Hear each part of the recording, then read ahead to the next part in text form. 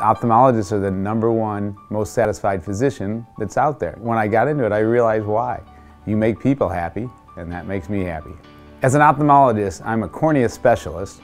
What I do mostly is cataracts, transplants, and LASIKs. There's always advances in technology in ophthalmology. We are probably the most advanced specialty that's out there and really keeps you on top of your game. And it's important too because there's so many new things that are coming out, you got to add a little bit each time.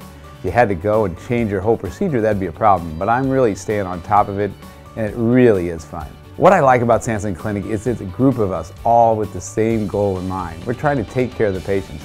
We work together to get the right results. In ophthalmology, we have every specialist that's available. When you know that problem directly, you do a lot better job taking care of it.